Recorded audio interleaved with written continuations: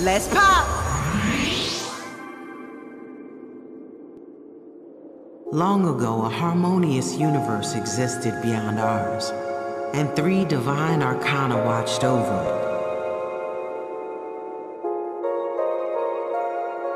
But one night, a cursed arcana intersected the astral highways, and along with her star-crossed allies, they stole all harmony and hid it in their vile hearts.